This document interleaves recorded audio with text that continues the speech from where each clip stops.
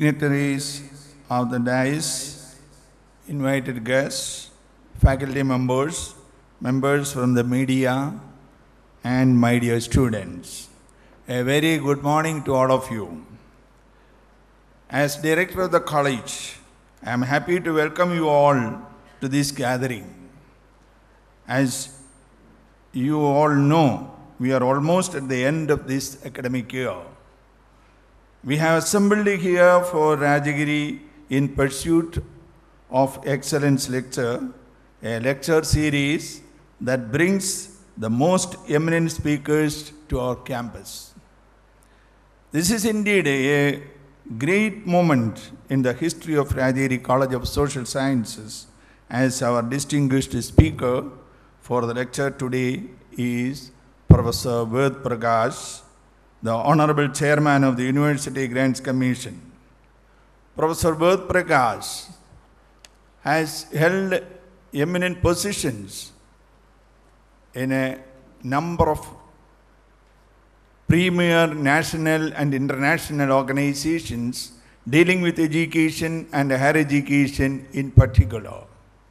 Professor Ved Prakash has also presented eh, the government in a number of delegations to the foregoing collaborations with, the, with other countries in the field of higher education and research.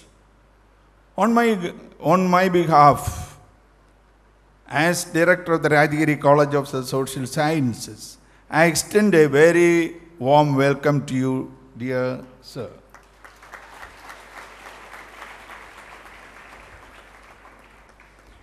We are also honored to have Dr.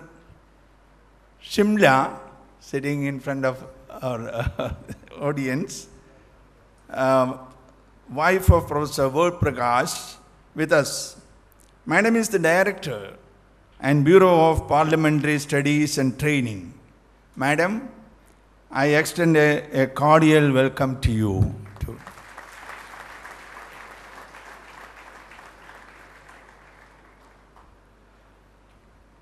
we are happy to have with us our provincial and manager, Reverend Dr. Cletus Plackel, CMI, presiding over this function. I am pleased to welcome Father Cletus Plackel to his, this excellence lecture. A warm welcome to you, dear Father. And Dr. Joseph I. Injodey served as the principal of the college for 14 years and now serves as the executive director of the college. A warm welcome to Dr. Joseph I. Injodey. I would also like to welcome Dr. Binoy Joseph, the principal of the college, and uh, Dr. Mary Venus Joseph, as the vice principal of the college for seven years, has been serving as the dean administrator of the college since 2011. A warm welcome to Binoy and Mary. Thank you. all the faculty members and the principals nearby institutions, Dr. Unnikrishna Pillai and other institutions, faculty members, and especially the media, and very specially to my students, a hearty welcome to all of you. Thank you. Good morning, all of you. Dignitaries on the dais, Professor Ved Prakash, Madam Shimla, our provincial and manager, Dr. Cletus Plackel, Father Joselix, Dr. Binoy, Dr. Mary, faculty team members, Dr. Unnikrishnan, Dr. John, Reverend Fathers, Sisters, and Rajagirians. It's indeed a proud moment for us that we have with us this eminent speaker, Professor Ved Prakash, to deliver the Rajagiri Excellence Lecture Series. Sir, a brief about Rajagiri. The word Rajagiri means Raja of the Giri. Raja denoting Jesus Christ, and Giri is a small hillock, the old campus in Kalamassery.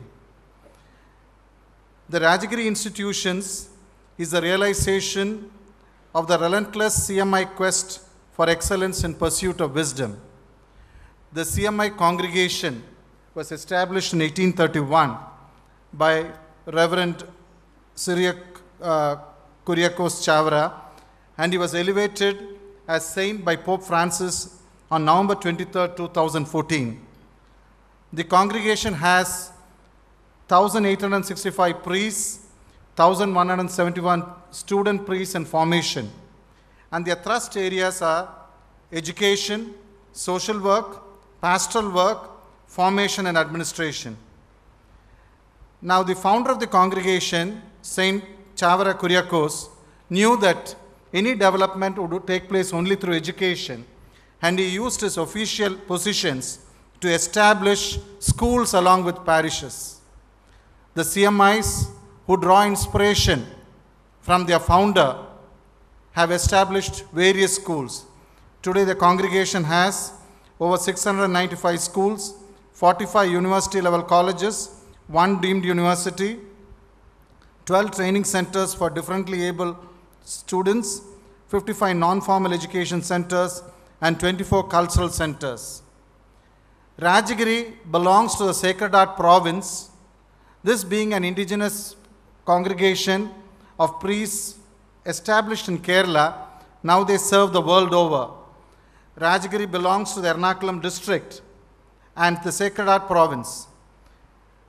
The Rajagiri College of Social Sciences was established, it started as a department of social work from our parent college, Sacred Heart College, Thevara, in 1955.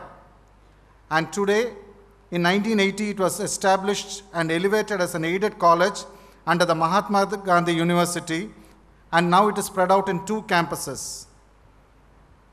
In the year 1984, we had the status of 2F and 12B, and Rajagiri College of Social Sciences had the regular support from UGC for all its development purposes. We had developmental grants for the postgraduate departments, faculty development program, construction activities of the ladies hostel, major research projects, minor research project, and recently the additional grants given by the UGC have helped in improving the classroom structures. The NAAC has upgraded, uh, the NAAC has rated Rajagiri in three cycles, first as 5 star, in the second cycle as A plus, and the third cycle as A with 3.7. We are thankful to the government of Kerala and the University Grants Commission for granting autonomy to Rajagiri College of Social Sciences in the year June 2014. Rajagiri belongs to the first batch of colleges upgraded as autonomous colleges. When I come to Rajagiri, I would like to use the anecdote. A racehorse that cons- consistently runs a second faster than another horse is worth a million dollars more. It is the extra effort that distinguishes the winner from the second place, and that is what excellence is. It is the result of always striving to do better. The word extra added to ordinary makes us extraordinary. Rajagiri today, apart from its education activities, has taken, since we started with a social work program, all our programs have a social initiative in it. All our students are exposed to social sensitization camps. And uh, the Rajagiri College of Social Sciences, through its Live Labs outreach, has sponsored 3,600 students for education from primary level to post graduation and professional degrees. Now, through this sponsorship from various organizations, we are able to work with families and help them elevating their problems. The Transcend as a social initiative by the students, management students, have helped 50 students who are either HIV affected or HIV infected in pursuing their studies. The Rajagiri College of Social Sciences has an NSS unit called the TOC and now recently renamed as ETI. It is the only training center in Kerala offering training for all program officers in all the colleges of Kerala. The middle level training center offers training to all the ICDS supervisors.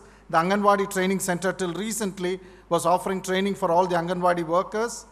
We have a research center at the Rajagiri College that taking sponsored research from ICCR, World Bank, ICSSR, and this has helped us in involving in the policy making of Kerala. So this is a brief about Rajagiri. The UGC support through the Southwest Regional Office and the office at Delhi has given us great impetus in our growth charter. We thank you for your presence here, sir. This is a big motivation for us. We have been trying to get you on campus from the time when you were the vice chairman to hear you.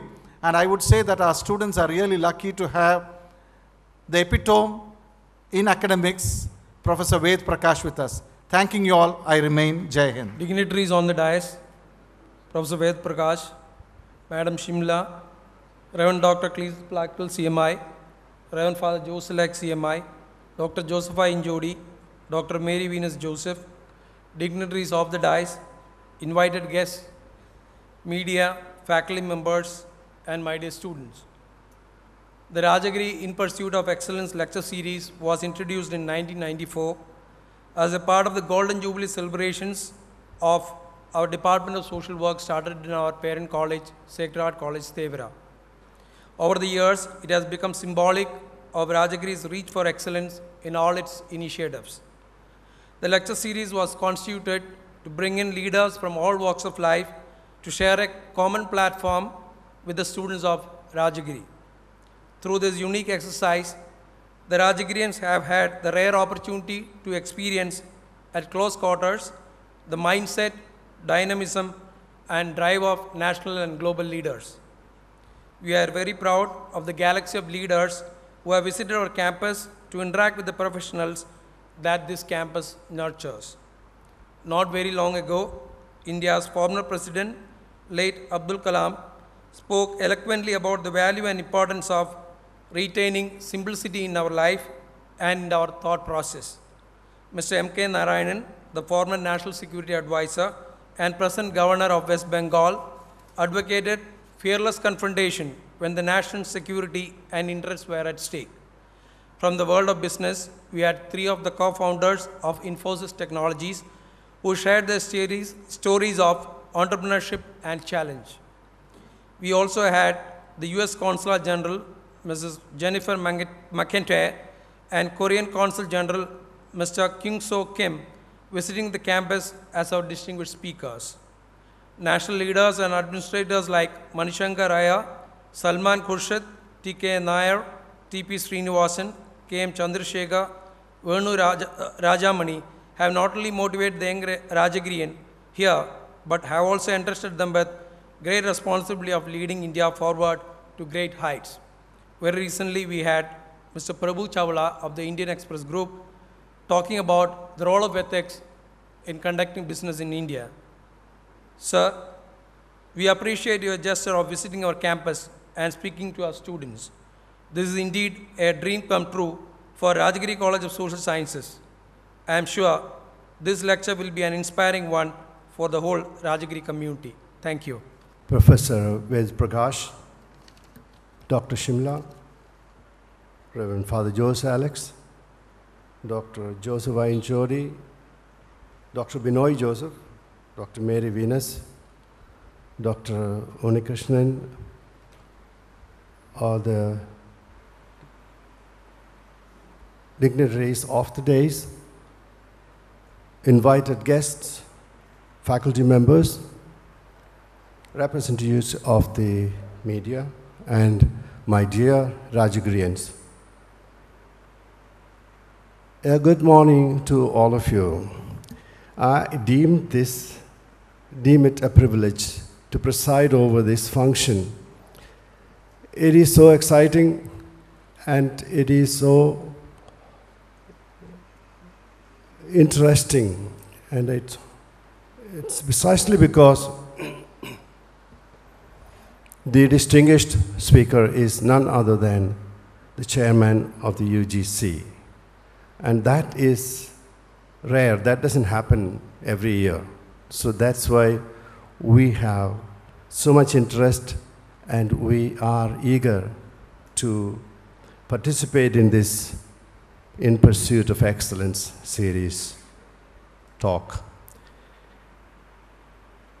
The fundamental purpose of education, as all of us know, is to gain knowledge, inculcate proper conduct, and acquire competency. The knowledge gained and competency developed should serve as a means to bring about desired change in society, to develop a generation of committed individuals, and thus contribute to the progress of the economy. The energy, enthusiasm, dynamism, innovative ideas, and creative thinking they possess make the youth population an important asset for any country's accelerated development. With regard to youth resources, India has a great demographic dividend in terms of our youth population and so has a distinct edge over the developed nations, most of which will be facing the burden of fast aging population in the coming decades. The key to harnessing India's demographic dividend is education. By 2030, India will be amongst the youngest nations in the world. However, a major concern for India is creation of employable workforce to harness our demographic dividend. This is where higher education becomes important. With nearly 140 million people in the college going age group, one in every four graduates in the world will be a product of the Indian higher education system. The central objective of higher education is to prepare talented young people to assume leadership roles in their societies and to foster the creation of a human capital.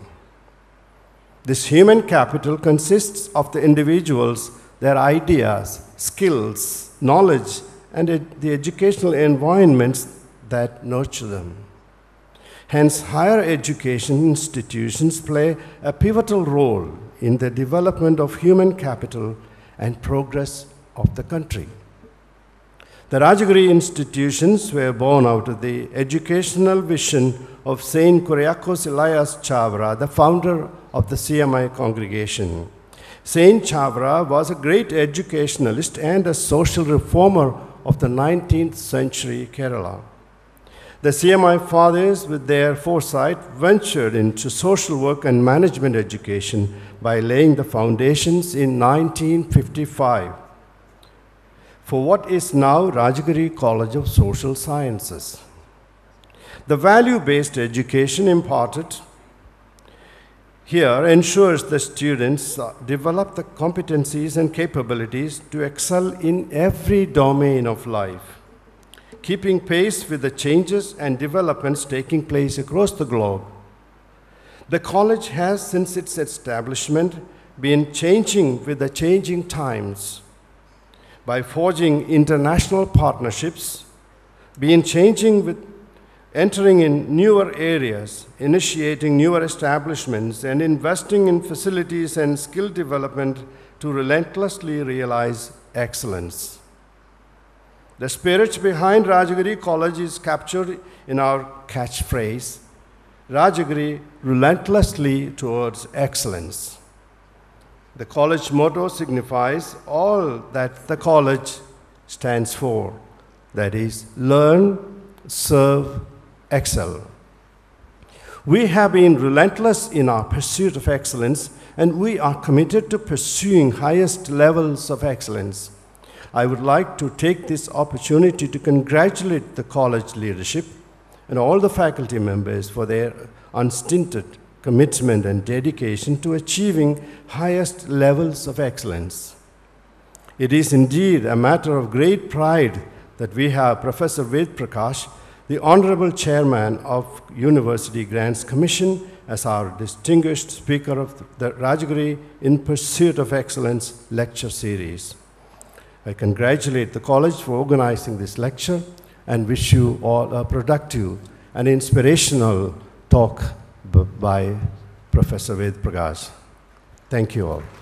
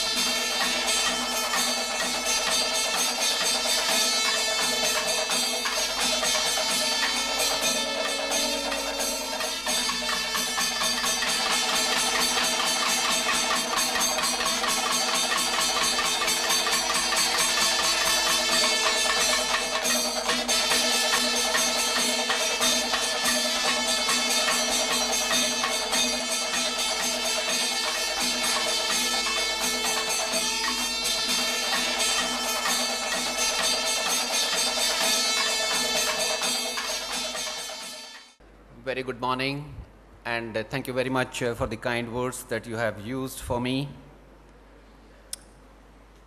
Respected uh, Father Dr. Cletus CMI, respected uh, Father Jose Alex CMI, my valued colleague Dr. Joseph, the Executive Director of this illustrious institution of higher learning, Dr. Binoy Joseph, Principal of uh, Rajgir College of Social Sciences, Dr. Mary Venus Joseph, Dean and Administrator of uh, this institution, members of the faculty of uh, Rajgiri College of Social Sciences and other sister institutions, invited guests, my dear students, friends from media, members of the staff of Rajgiri Institute of Social Sciences, ladies and gentlemen. It's indeed a matter of great honor to be with you, with you this morning. I came to know that you have instituted this uh, excellence lecture series 22 years ago and that this lecture has been delivered by very many illustrious people of our society. You have invited me to today to talk to you. I have come here to learn a great deal from these great people who are sitting on the dais and who have brought up and nurtured this beautiful institution of higher learning. I have come here to learn from the teachers sitting in the audience who have shaped up the lives of innumerable number of boys and girls. I have come here to learn how you can transform a temple of learning into a great institution of higher learning. I have come here to learn how are you going to imbibe the values from your teachers and from the managers of this institution. And let me tell you very frankly that I am a very ordinary person. I am trying to learn, I am trying to pick up the nuances of education. I have had the privilege of working at the school level while when I was working for the National Council of Educational Research and Training. I have also worked closely with the national policy making body that is the Planning Commission. I also got an opportunity to work with the World Bank and with some other international institution of higher learning. But even today I feel that I am very, very incomplete and I find difficult to face a formidable audience like you. But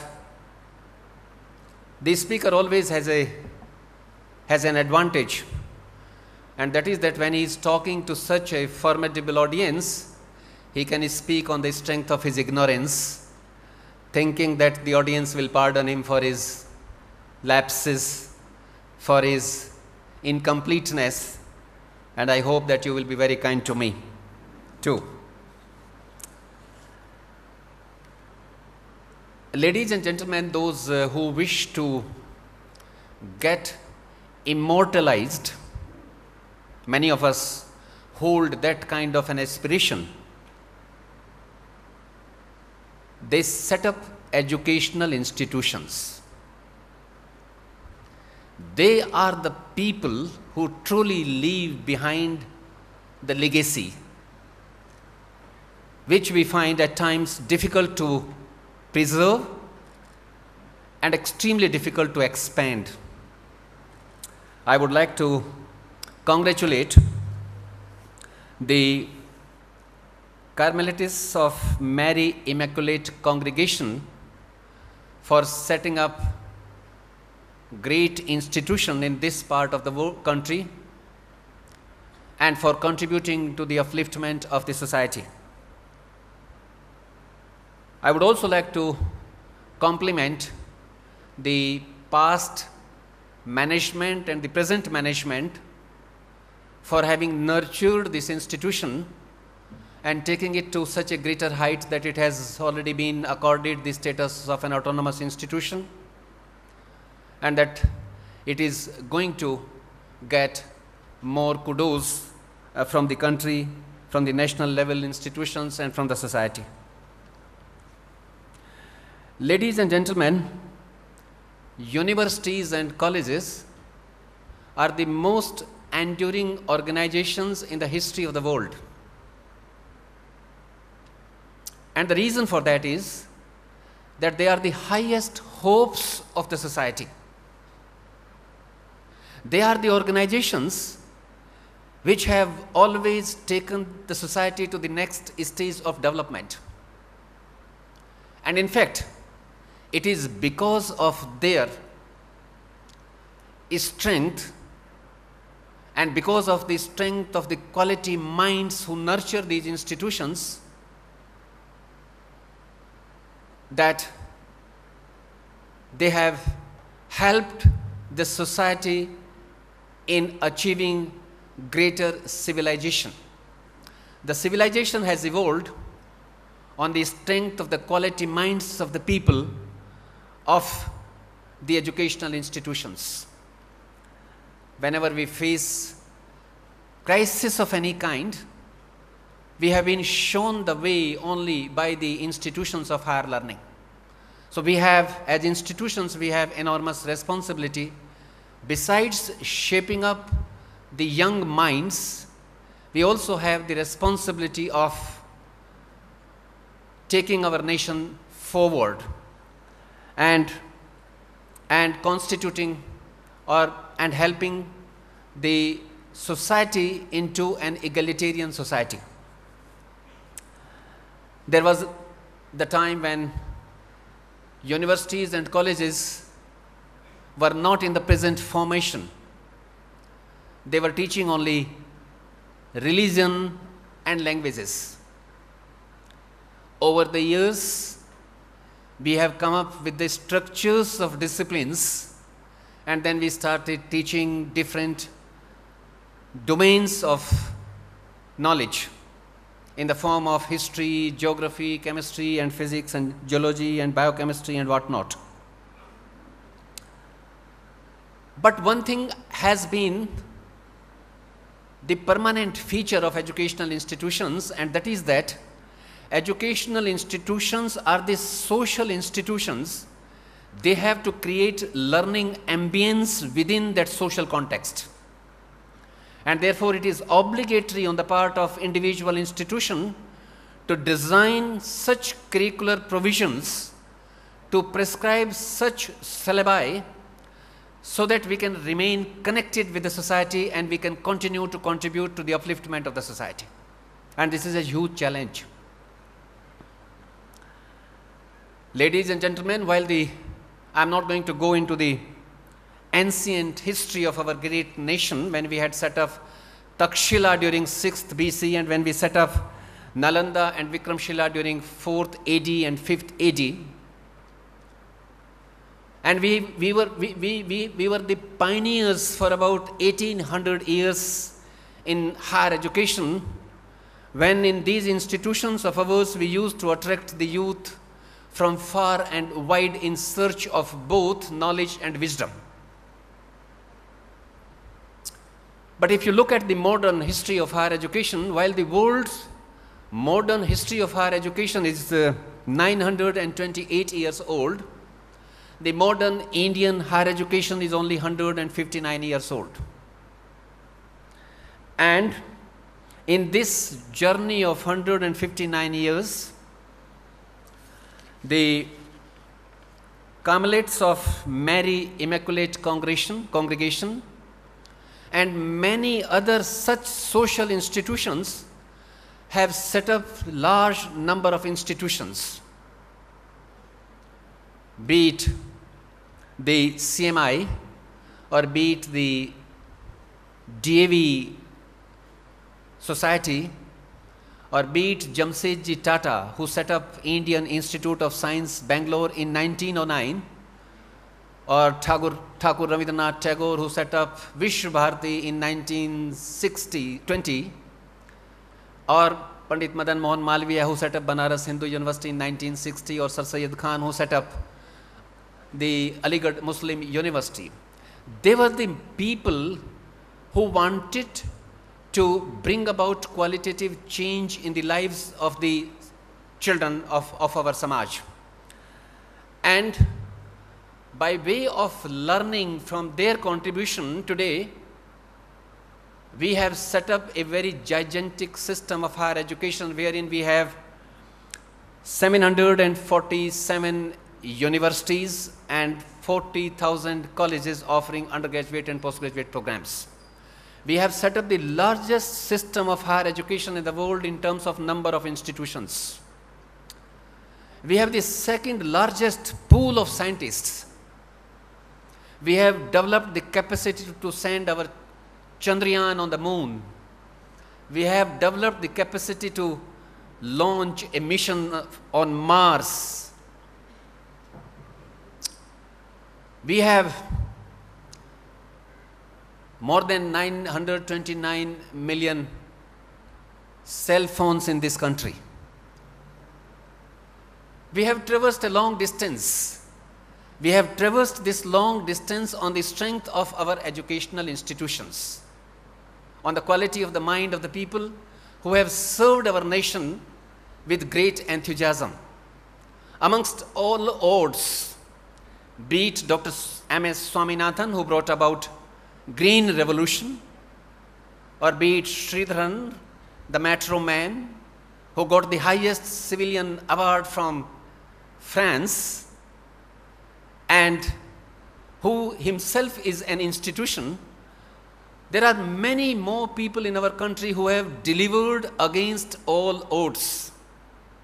C.V. Raman did not have a very outstanding laboratory when we came up with Raman effect. He was working in a very small laboratory. So, with limited resources, people can bring about miracles.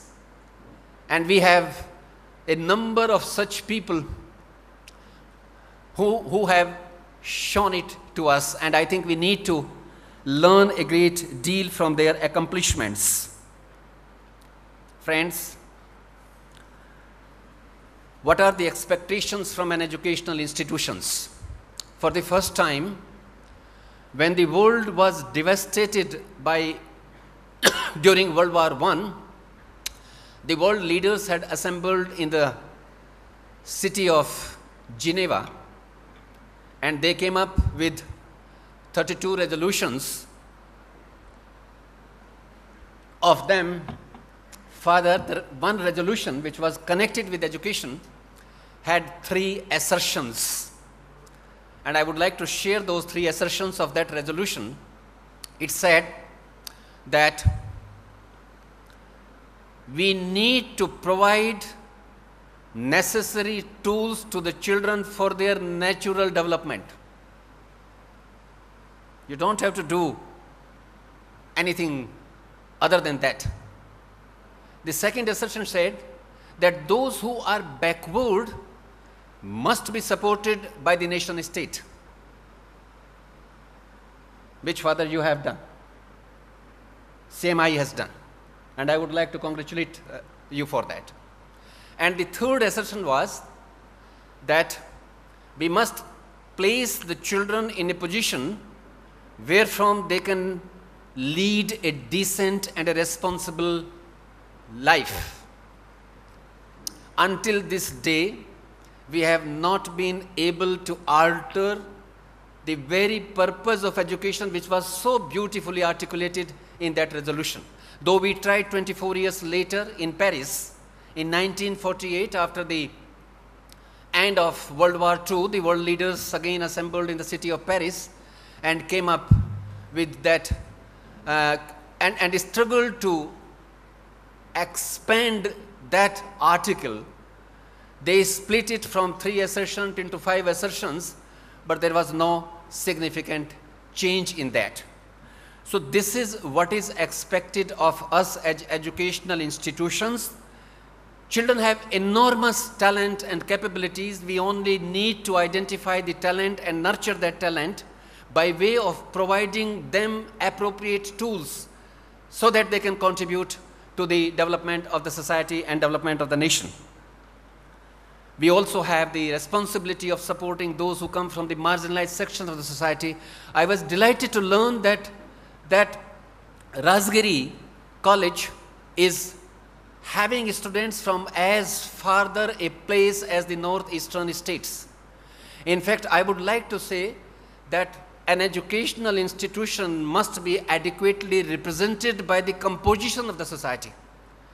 And if some part of the society, some section of the society is not represented adequately on the campuses of our institutions of higher learning, either in the form of teachers or in the form of children, something is seriously wrong with the health of that educational institution.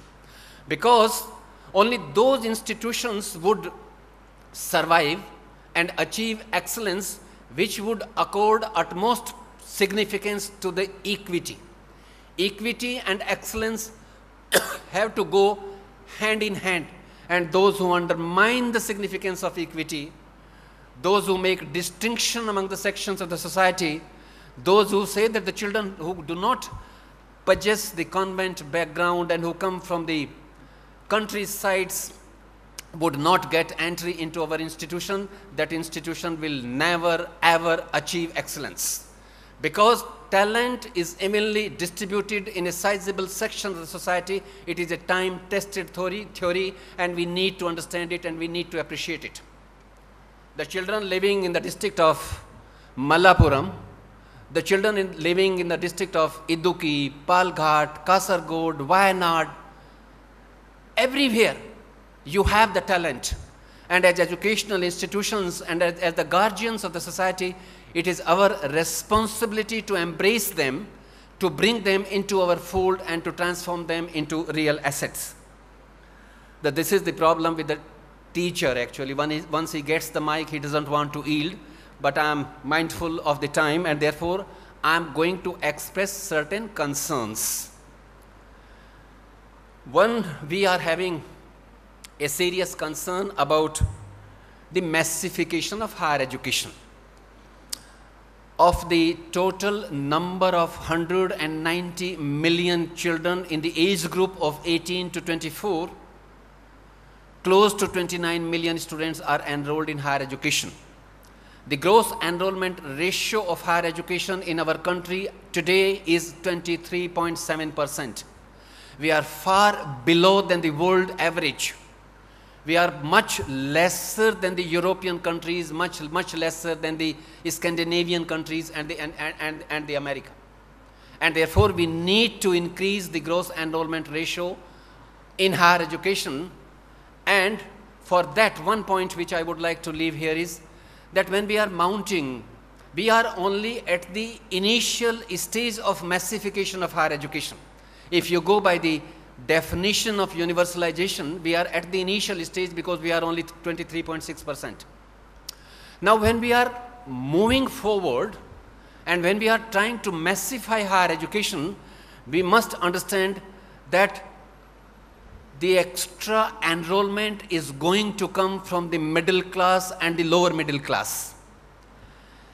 And the children coming from the middle class and lower middle class will bring in diversity on our campuses. And if this surging student population is bringing in greater diversity on our campuses, we have the responsibility of diversifying the curricular provisions on our campuses. We have the responsibility of building the capacity as teachers to provide differential treatments to the children. You may not find them very proficient in different domains of knowledge, but they have the potential and therefore this is a huge concern which I would like to leave for the teachers and the managers. Friends, we have contributed to the truncated growth of higher education, that is another concern. In the recent past, whatever expansion has happened in the sector of higher education has happened either in the market oriented programs like management, engineering, medicine, computers. Very little has happened in the area of humanities and social sciences and exact sciences. And if we continue to be mad after this so called information and communication technology era, and if we neglect our humanities and social sciences and exact sciences, we are going to become a very weak society.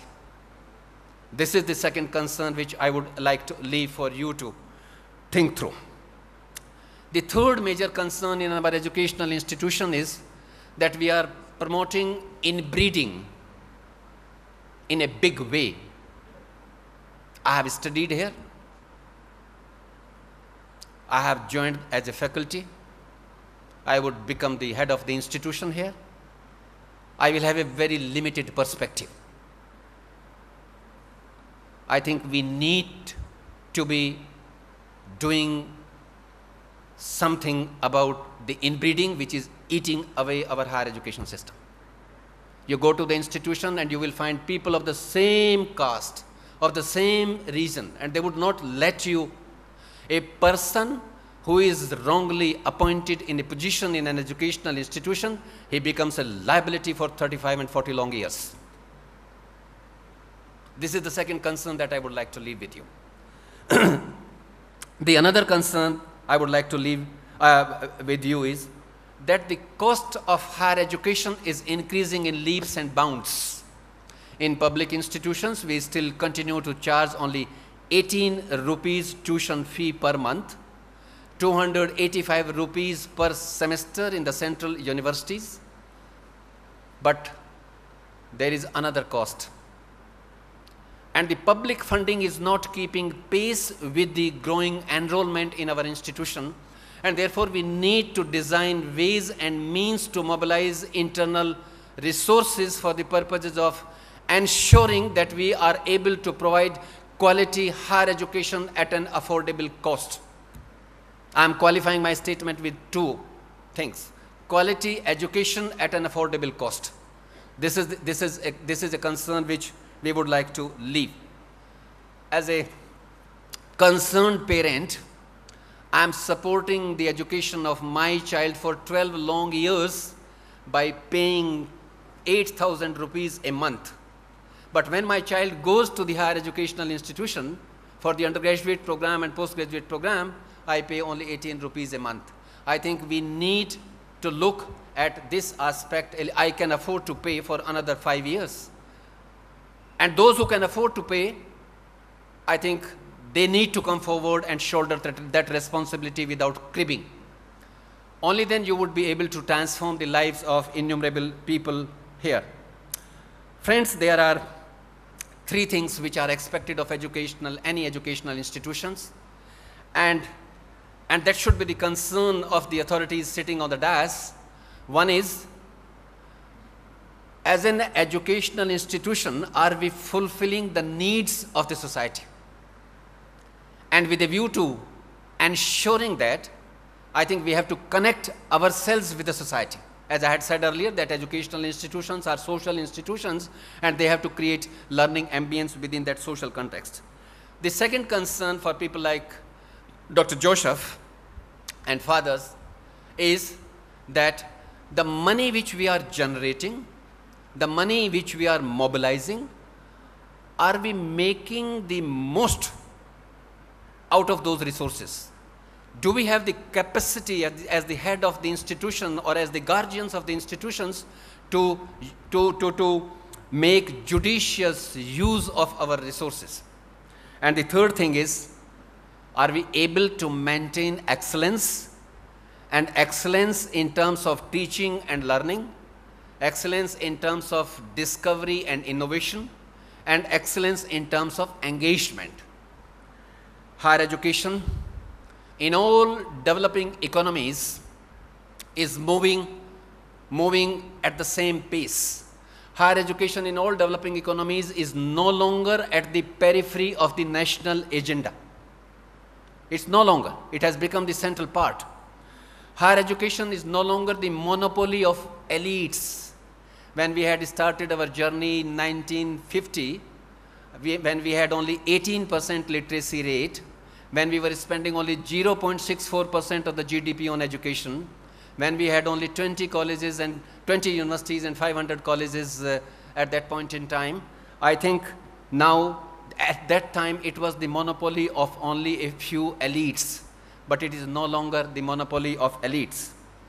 And we need, we are moving from the public sector to private sector. If you look at the share of private sector in higher education, it has grown enormously. In terms of student enrollment, they have surpassed the public institutions. In terms of their number, they are very close to the public institution. And therefore, we need to ensure a harmonious coexistence of public and private institutions in our country. We cannot fulfill the aspiration of the surging student population only through public institutions and therefore we need to look into our regulatory framework through which we can we can provide greater we can act as great facilitator for the private institutions. The another important uh, thing is that we are seeing, we are witnessing alternate models of higher education on the global horizon now. And we cannot, we cannot shy away from those alternate models. For instance, there was a time when we were having only face-to-face -face mode of delivery in higher education. Then we switched over from face-to-face -to, -face to ODL mode, open and distance learning mode. Today, newer models are emerging for a variety of reasons. The another model which is coming up is the MOOCs. Massive open online courses are available on, on, on, on, on the global horizon and therefore as teachers we have to transform ourselves, we have to upgrade our capacity to prepare the material for, for the purposes of its transaction through MOOCs which would require text, which would require simulation, which would require questions and answers and which would also require the, uh, the, the, the, the uh, method of assessment. Uh, the another uh, concern and this all requires, let me tell you that this all requires visionary policy initiatives. We have to ensure inclusive and qualitative expansion of higher education by way of embracing the children from different sections of the society. We need institutions today wherein most scientific advancements do take place. And though I am conscious of the fact that there is a difference between a college and a university, but we have the examples on this planet that there are there, are, there, there have been colleges which have done much better than the universities. They have produced outstanding scholars. You go to King's College in London, you go to Amherst College in Massachusetts, they have produced outstanding teachers and out, outstanding students. And therefore, as college also, we can ensure that on our, on our campuses, we get ourselves engaged into most scientific advancements. On the campuses of our colleges, we need to provide very inspiring learning and living environment. Because when a child travels from Mizoram to this place, when a child travels from Karbi Anglong of Assam to this place, when a child travels from, from Guntur of Andhra Pradesh to this place, they bring on them greater value system. And we have too much to learn by way of interacting with our fellow students. The learning that takes place by way of interacting with our fellow colleagues is far more important a learning than the learning which takes place by way of interacting with the instructional material in the form of reference books and textbooks. And therefore, we need to, we need to do that. We also, as a college, what is needed is that we need to create opportunities through which our teachers and students together can be meaningfully engaged on discourses of not only in their chosen disciplines but on wider issues of contemporary and historical significance. We need to know what is happening outside the periphery of uh, Kochi. We need, to, we need to know what is happening in our eastern part of the country. We need to know what is happening in Brussels. And therefore, that is possible only when we open up, when we go beyond the defined boundaries of the curricular provisions we need to lay greater emphasis on them because we would like our children to operate with greater ease at the state level, at the provincial level, at the national level, and at the global level. We, we, we need to know, and I'm reminded of uh, the address of Pandit Jawaharlal Nehru when he was uh, delivering the convocation address in Allahabad, and he said that university and for that matter college stands for humanism. University stands for tolerance. University stands for reasoning. University stands for ideas. And university stands for a quest for search for truth. Friends, now I will like to you have achieved excellence. You are organizing, I mean, series of lectures, lectures. That is a great thing. But in order to achieving excellence, it is in academic world, it is not an athletic competition. in academic world, one can achieve excellence only when improved academic excellence becomes the goal of every single department. In academic world, we can achieve excellence only when we develop the capacity of designing excellent programs which bring in resources from the University Grants Commission, which bring in resources from the Department of Science and Technology, which bring in resources from the Department of Biotechnology, from the Department of Earth Sciences. And therefore, we can achieve excellence only when we have excellent faculty. Because only excellent faculty can conceive excellent programs, and excellence can be achieved only through the excel ex excellent programs. Friends, we need to develop programs that can be rated amongst the very best in our different, different uh, domains of knowledge. We can achieve excellence when we recruit the best faculty. We can achieve excellence when we provide that faculty greater autonomy, greater space to innovate, greater space to evolve their own pedagogy for the purposes of transacting the instructional material in the classroom in an effective manner. We achieve excellence when as a, as a, as, as management, we also have the capacity to retain that excellent faculty when that excellent faculty is noticed by the outside world. That is also a challenge. We can achieve excellent faculty, we can achieve excellence when the management and the head of the institution has a broad vision to let them go to upgrade their capabilities. We cannot achieve excellence with a narrow vision. We cannot, we cannot achieve excellence when we have a control freak mind. Because when you go, when you allow your teachers to go and participate in national and international forums, the learning which takes place there would get reflected through their teaching, through their research output, through their labs.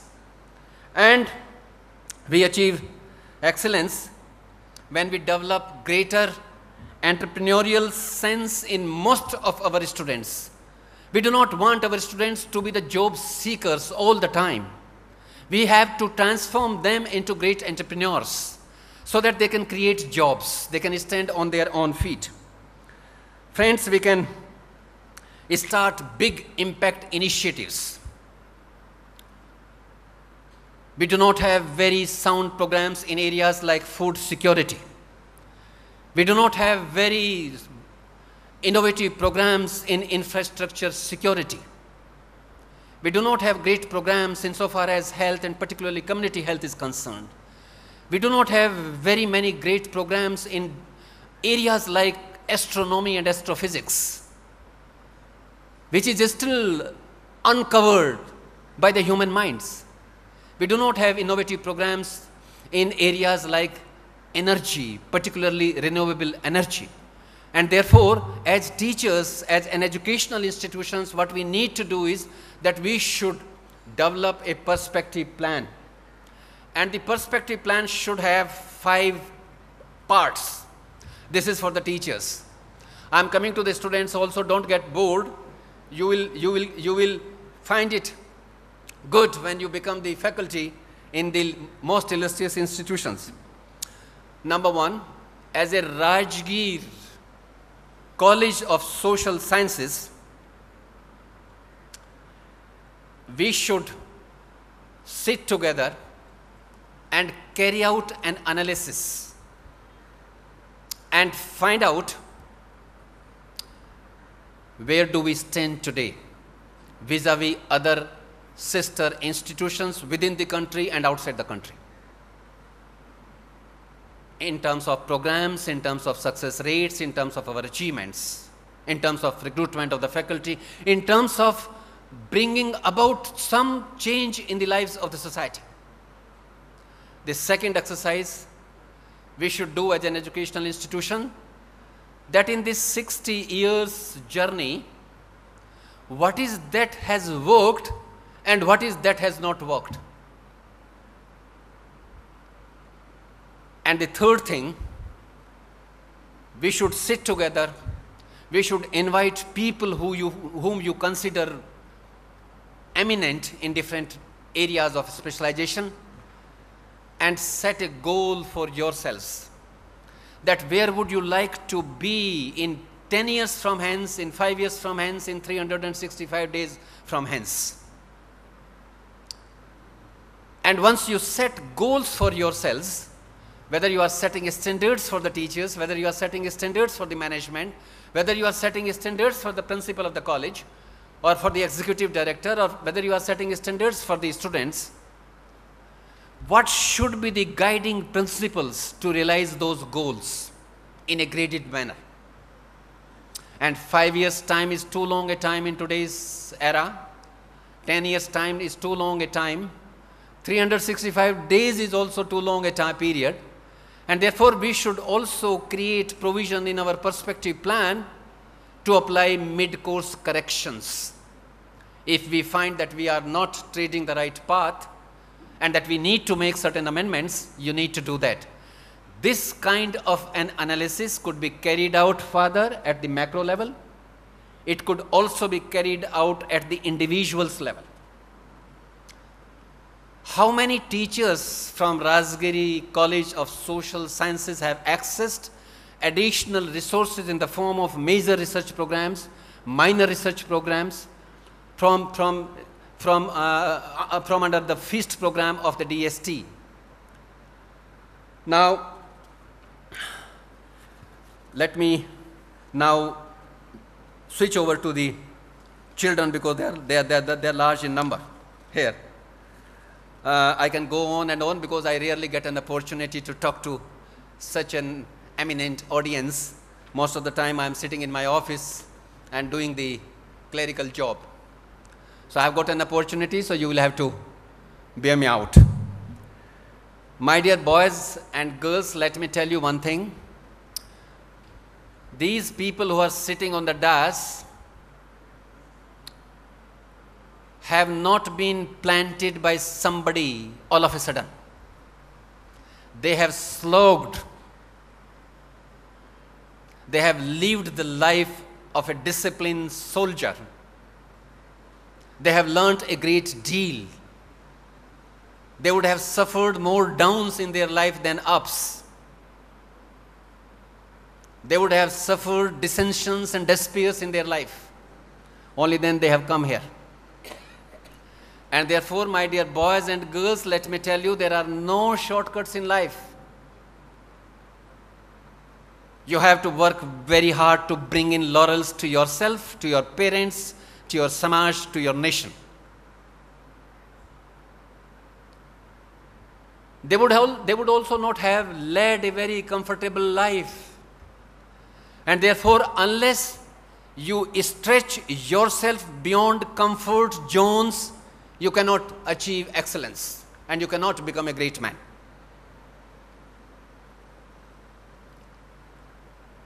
They have reached here because the CMI has reposed enormous amount of faith and trust in these people. And therefore, if your integrity is beyond reproach, only then you are going to leave behind a legacy. They have been given the responsibility of running the affairs of this institution because they must have proved that they are very honest people. And honesty is a field wherein there is very little competition. And if there is very little competition in this field, why should we not compete and make an edge over others? They have reached the zenith. And let me tell you that you must, as a student, you must always aspire for the top slot in the chosen field. If you wish to enter into civil services, your goal must be to superannuate from the government of India as the cabinet secretary. If you wish to enter into judiciary, your goal must be to retire as the chief justice of the Supreme Court.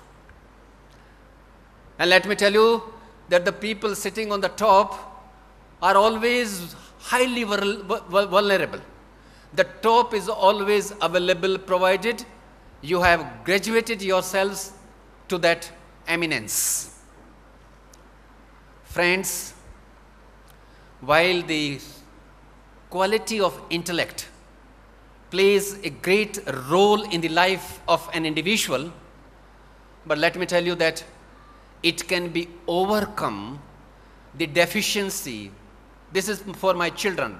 The deficiency of your intellect can be overcome to a great extent by hard work, by understanding the power of perseverance और मुझे एक दोहा याद आता है, उसमें कहते हैं कि, मेरी वाइफ बताएँगी कि कबीर का दोहा है या किसका दोहा है, कि करत करत अभ्यास के जड़मती होत सुजान और रसरी आवत जात के सिल पर पड़त निशान। If you work hard if you work hard I I I get the message very very quickly and I have got it right. I am going to close. But, but let me, let me, let me, let me sum up now.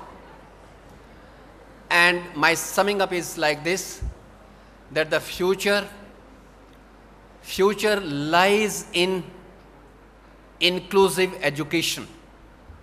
This is the message that I would like to leave for the college.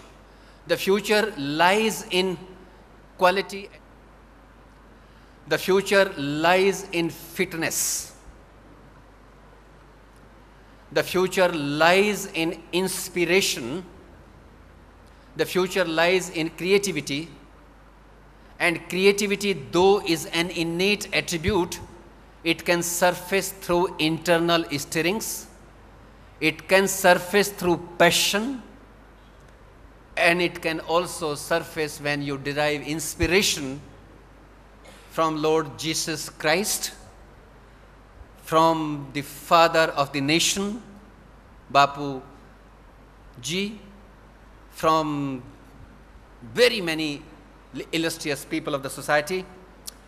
And as an educational institution, we have the responsibility of empowering our youth because their prosperity is our strength and their contentment is our security. and their gratitude is our reward. So I think we need to know that well, my dear boys and girls and members of the faculty, my dear teacher colleagues, the management, let me wish you all the very best and great good luck. Let me also thank you. Let me let me also thank you for giving me this opportunity to visit your beautiful campus. And in the end, let me also tell you that when you go away, in whatever humble position you might be, you should never ever forget your alma mater. And therefore, you should continue to contribute to the betterment of this institution in whatever humble way you can.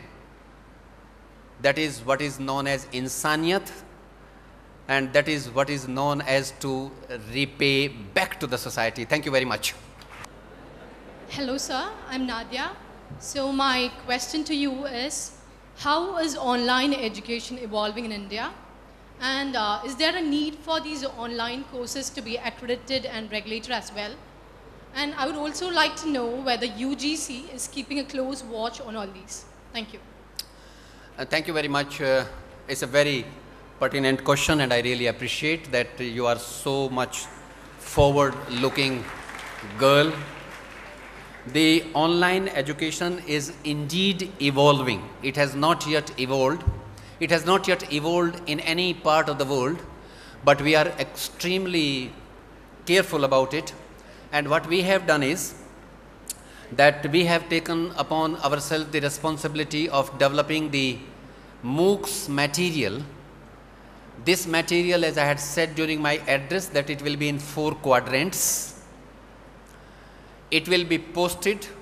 We are, we are developing the e-courseware under UGC EPG Pathshala program.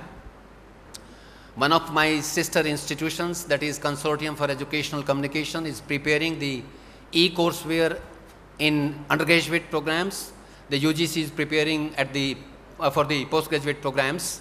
And this material will be made available free of charge.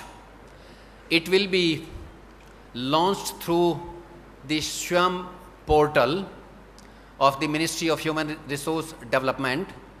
And currently we are busy in preparing the regulations so that we can come up with a template in which the credit credits earned through online courses could be integrated with the face to face credits earned through face to face credits.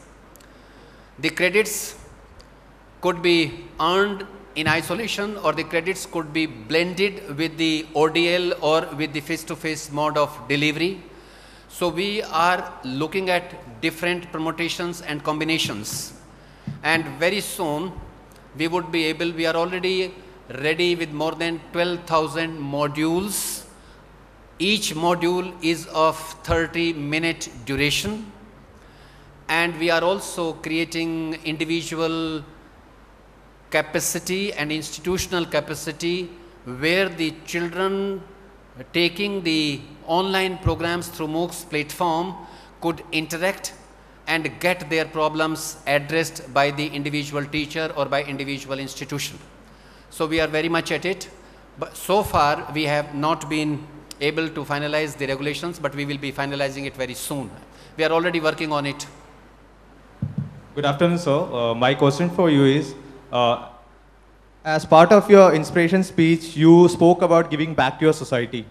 So my question for you is, uh, what is your take on when students go abroad and you know, how they uh, can help back to you know, giving to the society? This is, uh, this is the question which is uh, posed to us many a time.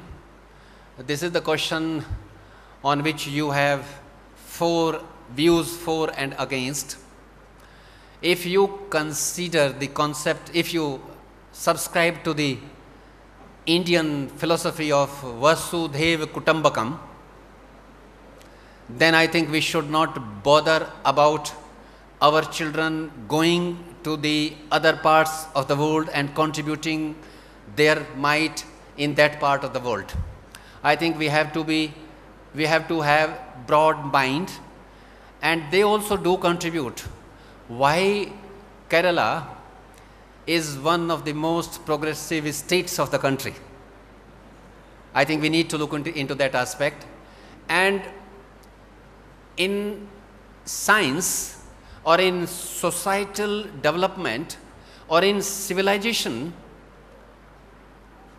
we have been benefited by the best minds working in different parts of the world.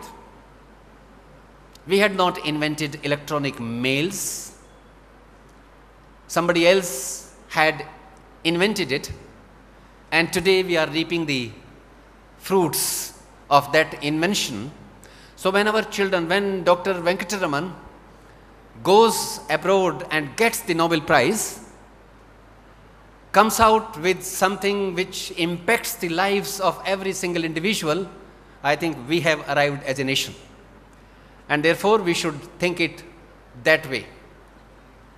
Somebody had invented penicillin for the entire humanity. Somebody had invented electricity, and all of us are benefited by that. Somebody had invented uh, telephone. Somebody had invented uh, steam engine, and we as a society are the beneficiaries. People have come from further places and set up educational institutions in different parts of our motherland. We did not have the resources at that point in time, and those institutions have contributed in a great deal. And today, we are saying with great pride that we have the largest system of higher education in our country in terms of number of institutions.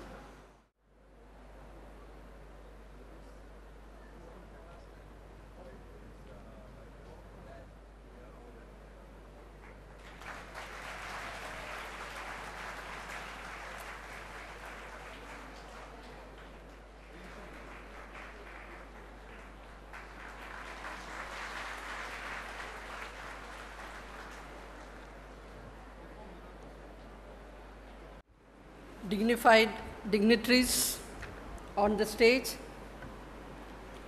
and all my dear ones in the audience. I'm sure all of us here are equally honored and pleased by the presence of Professor Ved Prakash, Chairman, University Grants Commission. Sir has been very humble to declare that he has traveled to Rajagiri to learn from all of us. But I'm sure by listening to his lecture, all of us have immensely learned quite a lot.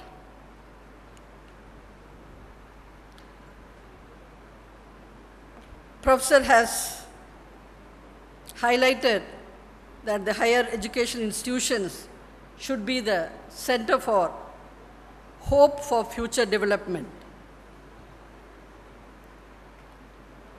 I would like to mention at this instance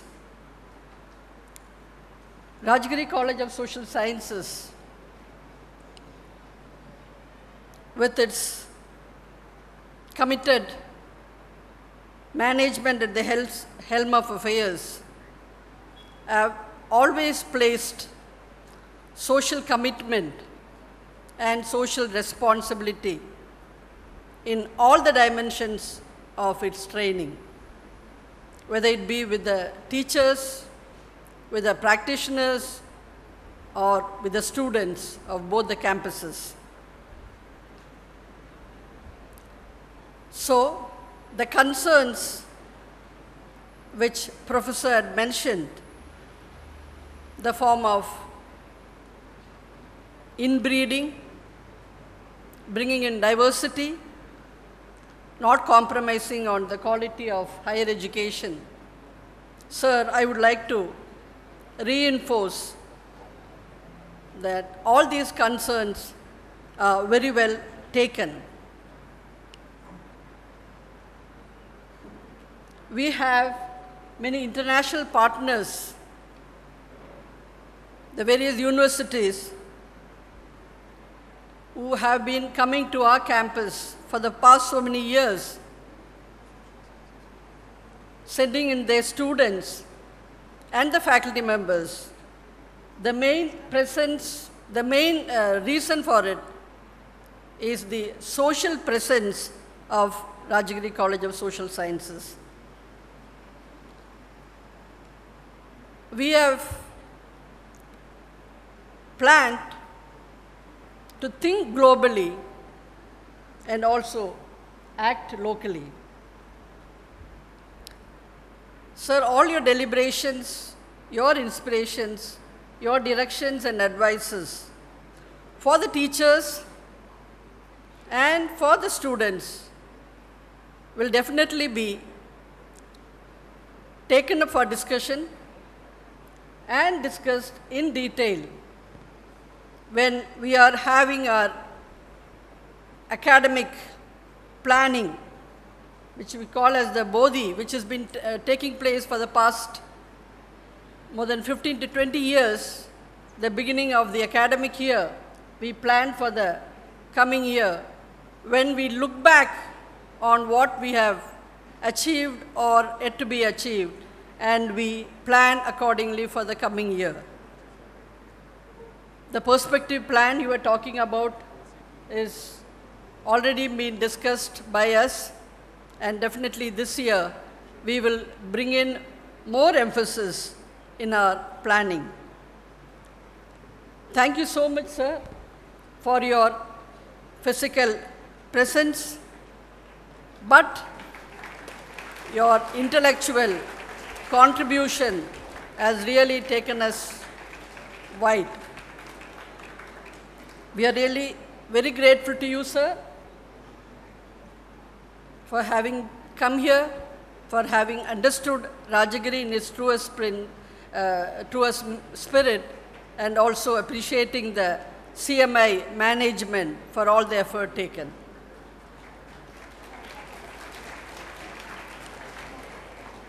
I would like to gratefully acknowledge Dr. Simla, who has accompanied Professor Ved Prakash. The few minutes of conversation we had with uh, Dr. Simla, Madam was going across the various aspects of Kerala society, the geographical, the socio-demographic, cultural, political scenario, and how, where the higher educational institutions is in the midst of all this. Thank you, Dr. Simla, for being with us today at this Rajagiri campus. Reverend Dr. Cletus Plackel, CMI, our provincial. I always observed you as a person who prepare your addresses to bring in the essence of knowledge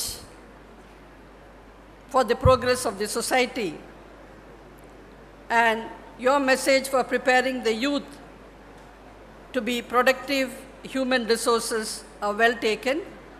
Thank you, Father, for your presidential address. Thank you, sir. Reverend Father Joseph CMI, Director, Rajagiri Group, Group of Institutions, have been a welcoming, welcoming personality all these four decades, welcoming all the suggestions, plans, and the proposals brought in by the faculty members, students, and so on.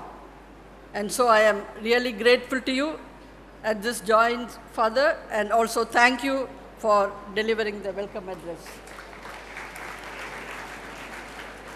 We have with us Dr. Joseph Injodey, the Executive Director of Rajagiri College of Social Sciences. You have made history and you are part of the history.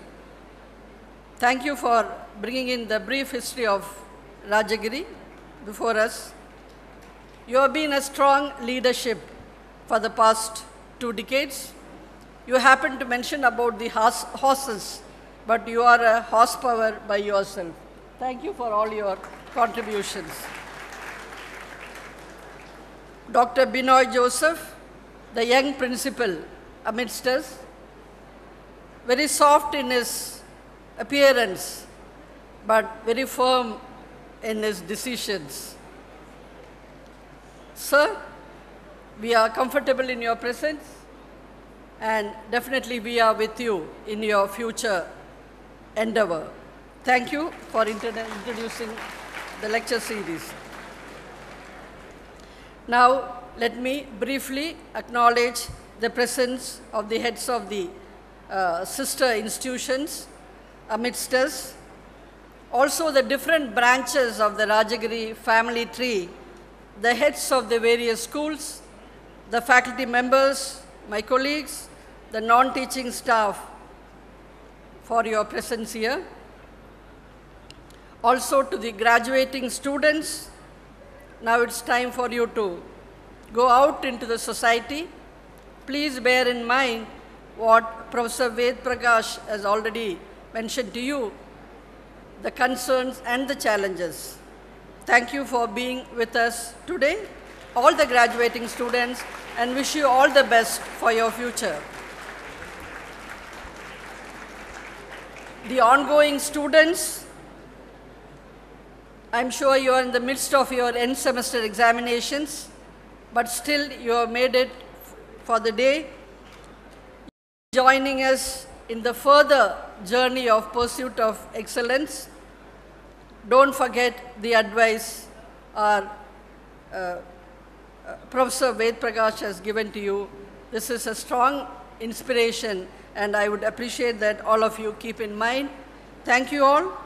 Now, let me take the opportunity to thank the press, the, all those who have re- represented the press. You have been always with us, giving us a greater mileage. We would like to thank you for all what you have been doing to uh, this institution. Once again, Thank you, one and all. I